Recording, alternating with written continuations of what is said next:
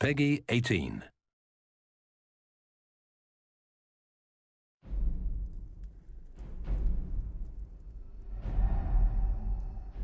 You should have acted.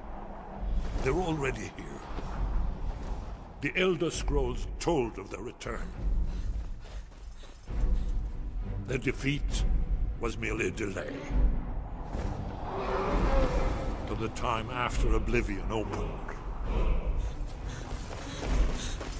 When the Sons of Skyrim would spill their own blood.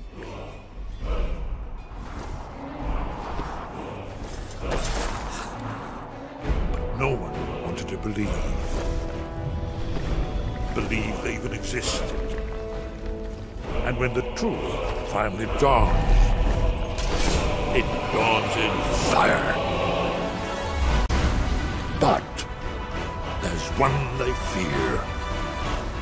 In their tongue, he is Dovahkiin, Dragonborn.